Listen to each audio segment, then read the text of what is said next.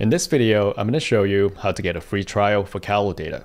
Kalodata is a software tool designed to help you sell more with TikTok Shop. You can try it out risk-free by opening the link I listed down below and it will directly take you to the sign up page. You have the option to sign up with an email, with a TikTok account, or with your phone number.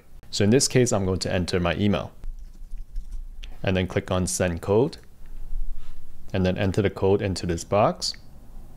Click on sign up and then you just need to provide some basic information for Kalodata to set up your account. So are you running a business on TikTok? I'm going to say yes. What's your business type? Creator. What's the size of your team? I'm going to say one to five people. What do we call you? And I will just enter my name. And then click next. How did you learn about Kalodata? I'm going to say YouTube, confirm, and they also have a Discord channel that you could join. So if you want to join the Discord channel, you can just click on click to join. I'm going to leave it for now. And after you're done, you should be able to access this dashboard. Everything is super organized. You can see the top products here, the top creators, the top TikTok shops, the top videos and ads, as well as the top live streams.